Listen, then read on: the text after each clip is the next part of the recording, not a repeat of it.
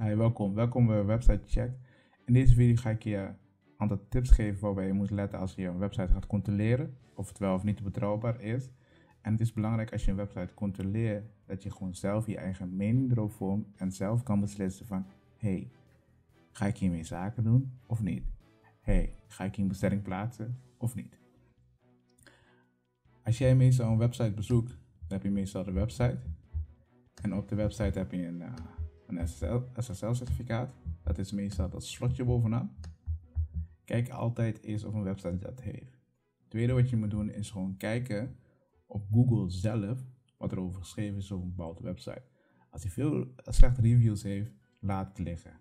Wat je ook kan doen is gewoon kijken op de website op de zwarte lijst staat van een consumentenbond. Als dat zo is, gewoon geen zaken meer doen. Zo simpel is het. Verder kan je kijken of de website algemene voorwaarden heeft en privacyvoorwaarden. En kijk precies wat erin staat. Meestal hebben ze dat wel, maar soms is dat gewoon Engelse vertaling. Als dat niet goed is beschreven of wat dan ook, geen zaken meer doen. Want je solliciteert om geflasht te worden. Dus uh, we gaan even één website bespreken.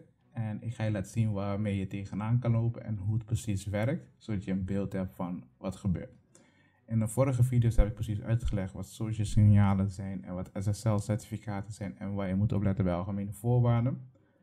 Bekijk ze in deze playlist. Als je vragen erover hebt, neem gerust contact met me op. Zullen we maar beginnen? Zoals je hier kan zien is dit de website. En zoals je hier ziet heb je geen SSL-certificaat. En verder kan je hier met verschillende valuta betalen. En zoals je hier kan zien is dit een .com, website. En op het eerste gezicht lijkt niks aan de hand te zijn. Dus de website ziet er gewoon goed uit. Maar deze website is ook weer gemaakt met een bepaald systeem. Ik zal in de toekomst kijken wat voor systeem dat is. Maar als we even gaan inzoomen. Als we bijvoorbeeld hierop klikken, op Google, dan werkt dit weer niet.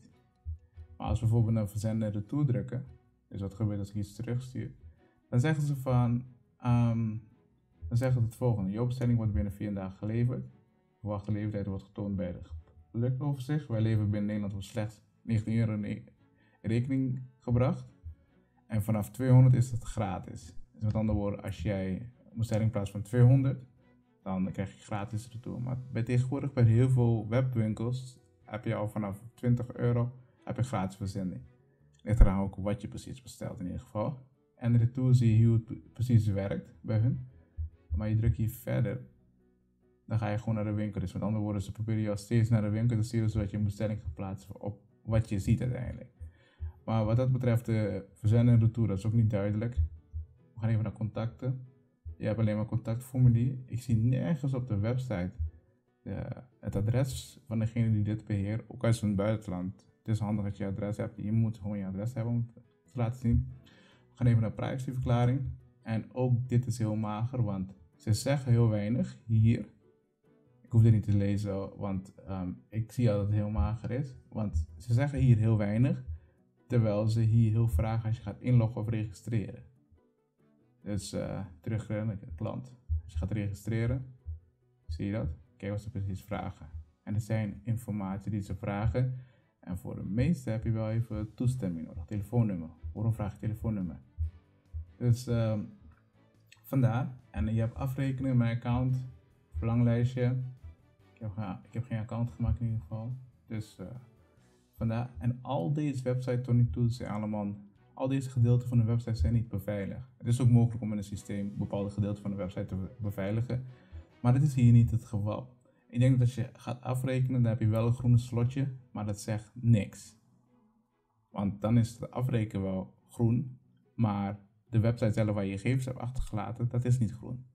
Dus uh, zoals je hier ziet, je kan erop klikken en uh, zie je beschrijving. Deze website is heel snel gemaakt aan de hand van een database met producten. Dat kan ik hier al zien.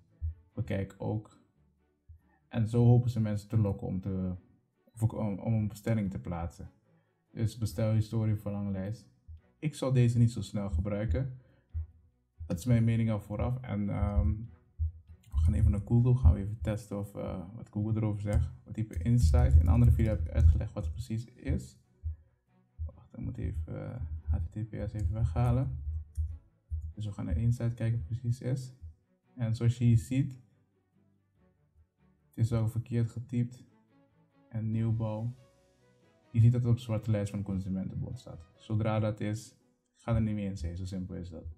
Verder wordt er niet veel verteld over deze website. We kunnen ook naar social signalen kijken. Social signalen test. Dit zegt ervoor van, zijn ze actief op Facebook? En hoe zit dat precies? En zoals je hier ziet is het nul, dus ze hebben geen Facebook account of wat dan ook, of Pinterest of ehm, LinkedIn. Dus dat zegt al wat. Dus um, ja, dit is een voorbeeld van hoe je ermee moet omgaan. Deze website uh, is sowieso niet betrouwbaar. Ik zou er geen zaken mee doen. Dit zijn de basistips. Heb je vragen erover, neem gerust contact met me op. In de volgende video ga ik je een aantal tips geven die je goed kan gebruiken om ervoor te zorgen dat jij niet opgelegd kan worden.